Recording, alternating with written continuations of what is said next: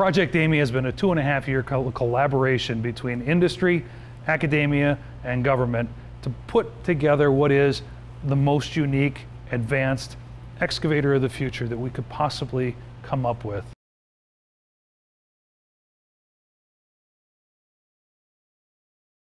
Project AME is the brainchild of a very unique industry and university consortium called the Center for Compact and Efficient Fluid Power, the CCEFP. And that group of individuals uh, took a tour of Oak Ridge National Lab in 2014 where they saw the 3D printed car that had then just been printed. And a group of us sat around a table and began brainstorming. And once we started talking that through, the idea of a 3D printed hydraulically powered excavator seemed like a natural choice.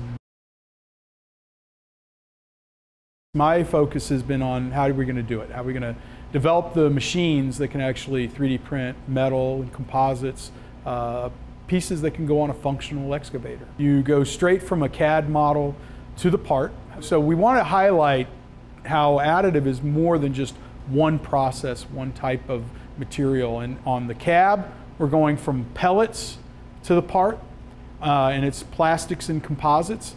On the boom, we're going from a welding wire to the part, uh, and it's going to be steel. And then on the heat exchanger, we're going from powder using a laser to the part.